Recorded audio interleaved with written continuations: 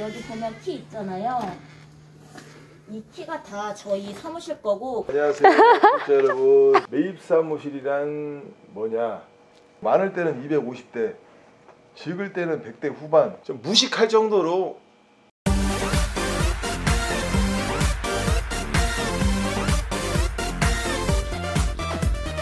구독, 좋아요 눌러주세요.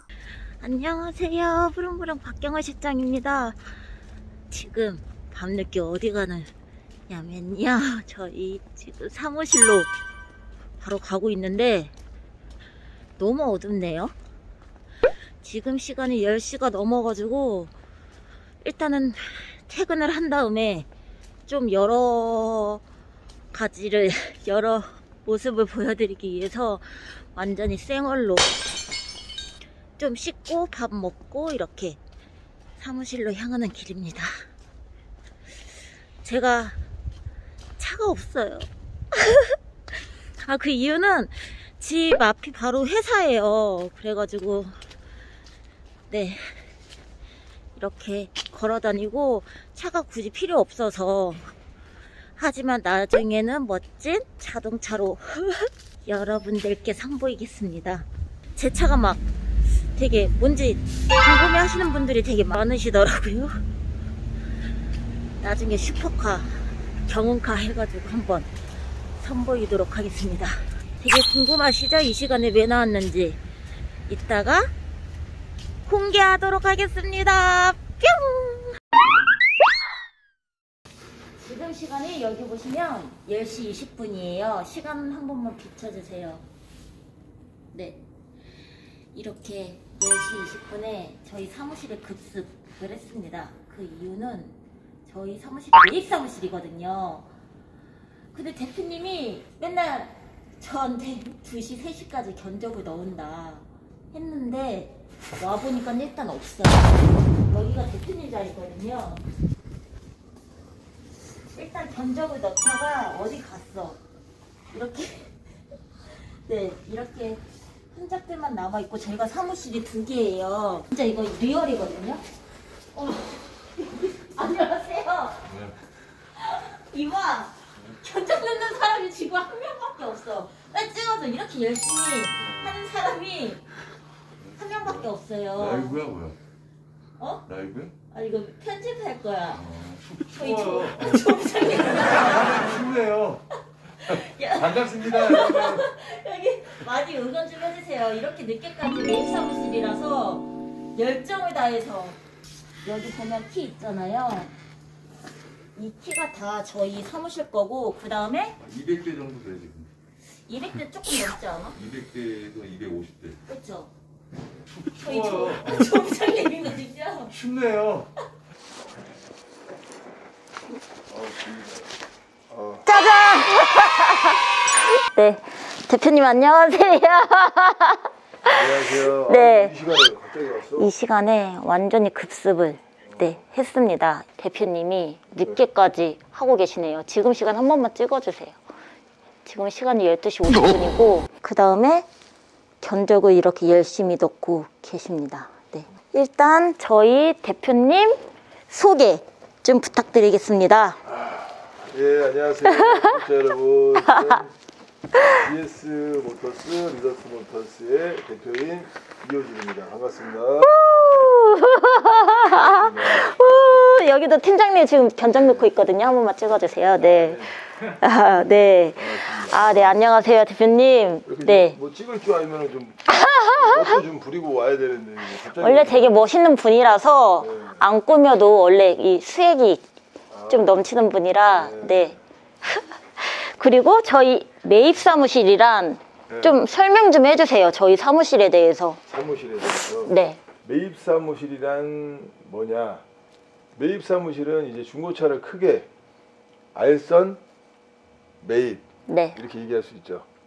보통 소비자분들이 뭐 통화하시고 거- 그러신 분들의 거의 90% 이상은 이제 알선하시는 분들, 뭐 본인이 이제 광고를 해서 손님을 땡겨서 도매상 저희같이 이제 도매 매입 사무실 차량을 이제 소개시켜서 이제 판매하는 거죠. 어떻게 보면 이제 공인중개사 들어가시면 음. 다 그분들도 자기 집이 아니잖아요. 알선하는 것처럼 그런 식으로 하고 저희가 이제 그래서 이제 매입 사무실. 그러니까 사실은 이제 도매라고 보시면 도매상이라고 보시면 돼요. 도매상. 그래서 이제 매입 사무실은 그런 거예요. 이제 저희가 이제 직접 소비자분들을 만나서 그분들한테 다이렉트. 로 차를 가져오죠. 가져와서 중고차 전산에 띄워놓습니다. 쫙 띄워놓으면 이제 알선 판매하시는 분들이 이제 그거를 다 제 차를 다 광고하고 이제 손님을 붙여서 이제 판매를 하죠. 제가 예를 들어서 천만 원 그럼 알선하는 중고차 딜러분이 거기다 이제 제, 제가 부른 천만 원에서 천십만 원을 부르든 천육백만 원을 부르든 그거는 이제 알선 중고차 하시는 분들의 이제 능력인 거죠. 조금 남기시는 분들은 뭐 천뭐 30만 원에 팔 수도 있고 많이 남기시는 분들은 뭐 속된 말로 요즘에 허위 매물 예전에 많을 때는 막 천만 원짜리 2천만 원에 팔고 그러신 분들이 있었어요. 요새도 솔직히 그렇긴 하잖아. 요새는 거의 없죠 요즘에는. 근데 막 100만 원, 200만 원 100만 원, 200만 원은 뭐 애기지. 네, 있죠. 있죠. 아니 그 예를 들어서 단순하게 이마트 가서 콩나물 살 살거 응. 어? 그 농사 짓는 콩나물 파는 그 할머니한테 가서 하면 더 쌀 거 아니야. 단돈 100원, 200원이라도 쌀 거 아니야. 응. 아니 사과 사러 갔어 이마트에. 근데 경상북도 가가지고 과수원 가가지고 사과 좀 사러 왔다 그러면 더 쌀 거 아니냐 단순하게. 그렇게 보면 되는 거야. 맞아. 쉽게 그렇게 보시면 돼요. 또 이제 우리 사무실이 차량 보유 수랑 그런 게 조금 어느 정도 되는지 좀 크기가 직원도 많잖아요. 그렇죠. 네. 매입 넣는 직원들이 또 몇 명 있고 네. 항상 이제 매입을 가는 팀이 또 있고 네. 또 사무실에서 차량 관리하는 팀이 또 있고 세 팀으로 나눠져 있죠. 그리고 뭐 차량 보유 대수는 요즘에는 숨길 수가 없어요. 치면 다 나오기 때문에 뭐 많을 때는 250대, 적을 때는 100대 후반 거기서 이제 왔다 갔다 하죠. 근데 진짜 자랑하고 싶어. 진짜 차 진짜 많아요. 근데 뭐 자랑하려고 하는 게 아니고 이거는 그거예요. 이제 이 친구가 지금 대수를 얘기하는 거는 그만큼 우리가 뭐 그렇잖아. 응. 뭐 도매상이고 도매식으로 해서 매입 사무실이기 때문에 소비자분들이 오시면은 뭐 정직한 왜 한치걸로 두치로 이렇게 알선으로 파는 게 아니고 바로 그냥 수수료만 얹어갖고 딜러가 밑으로 팔기 때문에 저렴하다는 거죠. 그리고 이제 차에 대해서 정확한 저희가 이제 직접 가서 본 차기 때문에 진단기까지 이제 저희는 이제 진단기를 다 매입팀이 갖고 다녀요. 그렇기 때문에 정말 갖고 와서 수리를 많이 요하고 상태가 안 좋은 거는 가져오질 않습니다. 그래서 그 부분에 대해서는 또 이제 박 실장이 체크를 하고 유튜브를 찍기 때문에 그런 것에 대해서는 이제 굉장히 이제 내역을 알 수 있다는 것도 굉장히 장점이죠. 진짜 네. 항상 앉아서 보면은 음. 항상 이렇거든요. 전화가 한 세 개 정도 돼요. 그러면 딱 받아가지고 아, 두 개 빠져요. 세 개 빠져요. 다섯 개 빠져요. 이러거든요. 그게 다 딜러들한테 전화가 오는 거거든요. 대표님이. 그러니까 이제 딜러들한테 그만큼 전화가 되게 많이 오고 막 우리 차를 가격을 붙여서 판매를 하는. 거지. 아, 그리고 또 이제 질문이 있는데 저희가 지금 완전히 코로나 시국에다가 조금 좀 바닥이긴 하잖아요. 그래서 좀 중고 차의 그 흐름이나 네. 네, 그 사무실 현황 그리고 유지비 같은 게 지금 잘 이루어지는지 조금 궁금하기도 하거든요. 그러니까 한세 달은 굉장히 힘들었어요. 세 달. 또 저희 사무실은 또 더 타격이 큰 게 뭐 저희는 큰 차가 많잖아요. 그래도 비싼 차들이 좀 많아요. 요즘엔 다 싼 차들만 나가. 이제 맞아. 뭐 소비자분들도 이제 힘드시고 하셔서 그럴 수도 있는데 보유량이 싼 차보다 비싼 차가 많기 때문에 아무래도 직격탄을 맞았죠 저희가. 예 그리고 저희도 지금 싼 차를 그래서 좀 많이 갖고 오는 추세고 흐름 따라서 왜냐하면은 아까 물어본 것처럼 고정 지출이 굉장히 많아요. 예, 너- 넘들은 뭐, 아, 너 뭐, 어, 많이 버냐, 뭐 이럴 수도 있지만, 내가 많이 벌고, 시간적인 여유가 있으면 지금 새벽 1시인데, 아들이 셋인데, 맞아. 너 집에 자고 있지. 난 새벽 2시, 3시까지 일하고, 그 다음 날도 똑같이 10시 전에 나오거든. 맞아요. 응? 그게 진짜 인정이. 아까 여기 불 다 꺼져 있었잖아요. 누가 사무실. 보면은 뭐 이렇게 하지만 나 열심히 살아요, 진짜. 애가 셋이야, 애가 셋. 아들만 셋이야. 지금 중고차 흐름은 안 좋아요. 예. 안 좋아. 근데 잘 되는 데는 잘 된다 그러더라고요. 저희 같은 회사 좀 힘들고 저희 총장님이거든요. 춥네요. 1일부터 7일까지 이제 지운 거고 갔다 온 거는 저희 같은 경우는 화요일이랑 저 이제 목요일 날은 지방을 가요. 월요일 날은 이제 경기도권 이런 식으로 돌아서 터치. 이 스케줄표를 적어 놓는 거예요. 그리고 13일, 14일은 아마 주말일 거야. 주말은 저희가 이제 매입을 안 나가요. 왜냐면은 저희가 다 매입 스케줄 잡아놓는 이유는 차만 보러 가는 것도 아니고 차 보고 이 고객님들이 서류를 준비하셔야 돼요. 그래서 저희 서류를 확인해야 되고. 그러니까 이제 빨간 날은 저희가 안 가요. 될 수 있습니다. 급한 건 아니에요. 서류가 준비가 안 되니까. 네, 서류 준비나 서류 확인도 좀 안 되는 부분이 있기 때문에 돈이 왔다 갔다가 하는 거기 때문에 이제 평일날 위주로 저희가 돌고 있습니다. 그리고 지역별로 묶어서 가기 때문에 네, 이런 식으로 하고 있습니다. 평균적으로 하루에 세 대 이상은 저희가 매입을 해요. 세 대 이상, 최하 세 대 이상. 그래야지 한 달에 100대 이상을 저희가 판매를 하니까요. 이어서 팀장님이 또 궁금하신 게 있다고 그래가지고 네 같이 조금 자 이렇게 설명 나머지 네. 들어갔고 어, 이 질문 부분이 이제 아마 소비자분들께서 구독자분들께서 가장 궁금해하실 부분이라고 생각을 해요. 네. 이제 대표님께서 중고차 경력 약 12년, 14년 차 이렇게 사무실 두 개를 운영하고 계신데 네. 어, 오랜 경험과 이제 네. 그런 걸 바탕으로 해서 이제 고객님들께 가장 네. 좋은 차, 가장 좋은 중고차를 고르는 방법 한 가지 말씀해 주신다면은 꿀팁, 꿀팁. 네, 꿀팁. 네, 좋은 질문이네요. 저는 이제 제 친구들이나 이제 지방에 있는 뭐 지인들한테 이제 얘기를 이제 하면 우선은 인터넷을 보는 거는 사실 무의미해요. 이게 예를 들어서 뭐 내가 예예요 이거는 나이키 같다. 그럼 그 나이키 그 옷을 내가 매장에 가서 보고 인터넷에서 최저가로 저희가 고를 수 있어요. 그렇죠. 근데 이 차라는 거는 타보지 않고선 이 차의 성능을 모르기 때문에 신차가 아닌 이상 그렇죠. 그렇기 때문에 가장 첫 번째는 움직여야 돼요.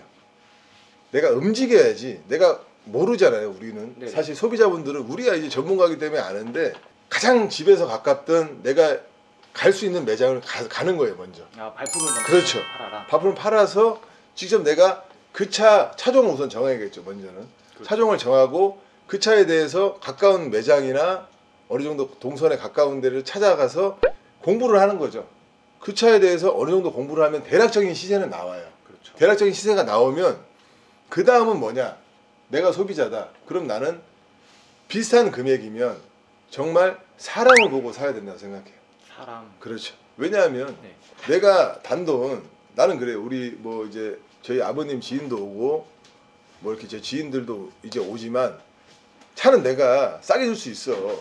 그럼 나한테 이제 내가 자신 있게 어필할 수 있는 거는 언제든지 나한테 오셔라. 음, 타이어 가실 때 오셔도 되고 엔진오일 가실 때 오셔도 되고 차량 소모품 가실 때 아무 때나 오셔도 된다. 왜?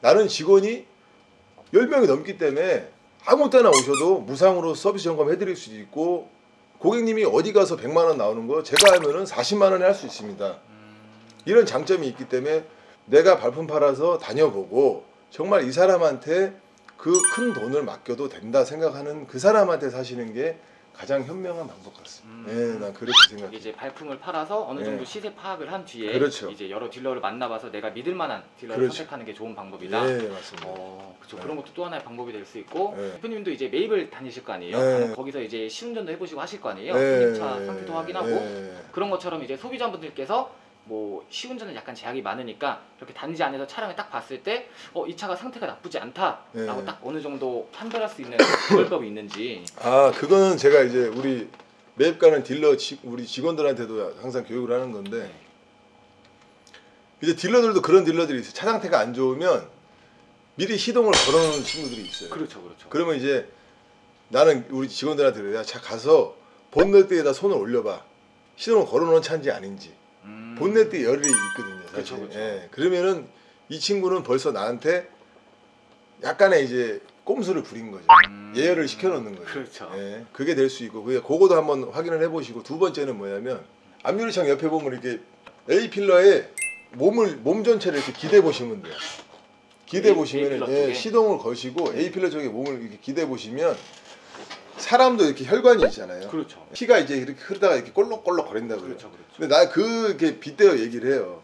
차에 이렇게 A 필러에 이렇게 몸을 기대면 엔진 음이 느껴져요. 어, 엔진은 떨림. 그렇죠. 엔진 떨리는 의미죠. 음. 예. 뭐 휘발유든 뭐 어떤 차든 하이브리드나 전기차는 예외지만 네. 이제 기대 보면 이 떨린 음이 일정하면은 그거는 엔진 상태가 그래도 양호하다고 저는 봐요. 음. 근데 뭐 딱 기대했는데 차가 덜덜덜덜덜덜덜덜덜 이렇게 되면 되는데 덜덜덜덜덜덜덜덜덜덜덜덜 음. 일정하지 않은 거는 음. 아무래도 엔진이 이제 어느 정도 이제 찐바퀴가 있다고 저희는 이제 얘기를 하고요. 소비자분들 아실 게 아, 내가 세게 안 달려봤는데 이 차의 성능을 어떻게 하냐. 그렇죠, 그렇죠. 예, 그걸 그런 얘기를 이제 많이 하시는데 그건 모르시는 사람 분들이에요. 음. 세게 달리면 100km 이상 달리면 차는 다 좋아요. 차를 좋고 나쁨을 느끼시려면은 단지 안에서 하시는 분들이 똑똑한 거예요. 단지 안에서. 단지 안에서 단지 안에서 하되 단지 안에도 내리막이 있고 방지턱이 있을 거예요 분명히. 그렇죠. 방지턱을 살짝 넘어 보셔도 하체의 이 밸런스나 하체가 이제 우리 속된 말로 야 미, 밑이 빠진 것 같아 음. 예? 이 느낌이 와요. 그렇죠. 그리고 미션도 고단에서는 절대 slip이 안 납니다. 음. 저단에서 나죠. slip이라는 게 이제 미션 튄다는 거죠. 우리 속된 말로 이렇게 튀죠. 그렇죠. 그렇죠. 튀는 거는 절대 고단에서는 안 나요. 1단에서 3단 사이에 나요. 무조건. 음. 그렇기 때문에 아, 요 앞에만 한 바퀴 돌아볼게요. 모른 척 하시는 거예요, 그냥. 요 한, 그러면 딜러들이 아, 그 앞에 요 앞에는 돌아보라 그래. 왜? 단지 밖으로 나가면은 안 되는 거는 맞으니까 그렇죠. 단지 안에서 요 앞에서만 돌아볼게요. 그래도 1단에서 3단까지는 기아 변속이 가능하거든요. 음. 이두 가지는 분명히 짚고 넘어가야 돼요. 왜? 엔진이랑 미션은 사람으로 따지면 심장이나 허리거든요. 그렇기 때문에 그렇죠. 비용이 수리를 하게 되면 이제 좀 많이 나오기 때문에 그 두 가지는 이제 보시는 게 예, 이렇게 간단하게 느끼실 수 있죠. 그렇죠. 이거는 네. 뭐 굉장히 좋은 꿀팁인 것 같아요. 네. 큰돈 안 들이고 그냥 간단히 매장 안에서도 확인할 수 있는 그렇죠, 그렇죠. 네, 이런 예. 꿀팁 네, 굉장히 좋은 것 같고 예. 네, 영상 이제 마지막으로 예. 어, 이제 저희도 이제 같이 이렇게 사무실을 운영하고 아, 있잖아요. 그렇죠, 예. 이렇게 하고 있는데 항상. 어, 마지막으로 이제 저희 구독자분들에게 예. 어, 저희 이제 사무실의 장점, 그러니까 저희 사무실 차를 구매하면 좋은 점이나 예. 이제 뭐 저희 시장님 예. 이제 구매하면 좋은 점 이런 거 한번 제가 뭐 지금 박시장님한테 항상 얘기하는 거지만 요 이제 유- 인철 팀장이랑 다 얘기하는 거지만 저희가 한 4년 정도 됐어요. 그래서 이제 박시장님도 이제 손님들도 이제 많이 꾸준히 찾아오시고 이제 하시는데 알선하는 딜러분들보다는 정말 정직하게 인철 팀장이나 박시장님이 판매하는 거는 뭐 당연한 거예요. 이거는 제가 보증하고요. 저희가 이 단지 그래도 제가 감사하기 때문에 뭐 절대 제 얼굴도 이렇게 나오면서 뭐 그렇죠. 예, 뭐 저갈 일은 없고요.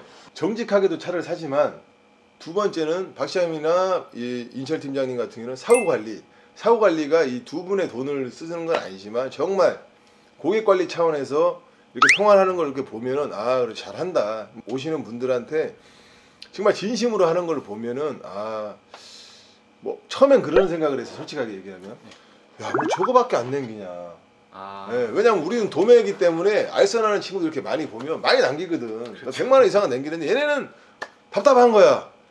뭐 5만 원 남길 때도 있고 많이 남겨야 30만 원이니까. 그래서 좀 무식할 정도로 정직하게 판매를 해요. 음. 그거는 내가 높게 삽니다. 예. 높게 사고 지치지 않고 이렇게 열심히 해주니까 또 나로서도 고맙고 항상.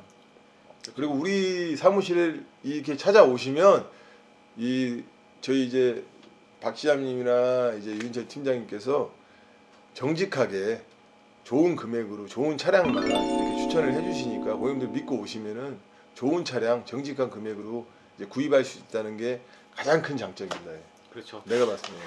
그게 가장 큰 장점이고 이제 마지막으로 대표님 말씀 이제 조금 더 제가 부가 설명을 하자고 하면은 예. 어 저는 그렇게 생각을 해요. 저희가 이제 항상 뭐 매입 사무실이고 사무실 이제 직원 이제 뭐 편하게 말하면 저희 예. 이제 형들이 이제 예. 차량 이제 매입을 해오잖아요. 음. 네, 그러면은 저희 같은 경우에는 이제 손님 분들이 오신다 그러면은 직접 이제 그 차량을 매입해 오신 분한테 가서 물어봐요. 어 이분은 어떤 나이대가 어떻게 되셨고 어떻게 차량을 타셨고 그런 걸 꼼꼼히 다 물어보고 이제 전에 타시던 분이 어떤 성향이었는지 관리는 잘 했는지 안 했는지를 제가 꼼꼼히 다 체크를 하거든요. 그렇기 때문에 다른 알선 딜러들처럼 이제 모르는 차량을 그 차에 대한 정보가 아무것도 없는 차량을 판매하는 게 아니고 네, 저희가 기본적인 정보들을 다 가지고 이렇게 판매를 하고 있기 때문에 고객님들도 믿고 방문하셔도 네, 절대로 후회는 안 하실 거라고 생각이 들고요. 어, 일단 늦은 시간까지 인터뷰 해주셔서 너무 감사드리고 원래 이 시간에 있습니다. 갑작스럽게 또 찾아왔는데 예. 네, 너무 감사드리고 자 그리고 마지막으로 저희 박경은 실장 TV 구독과 좋아요 알람 설정! 많이 눌러주시면 더욱더 열심히 하는 모습으로 찾아뵙도록 하겠습니다. 감사합니다. 네, 반갑습니다.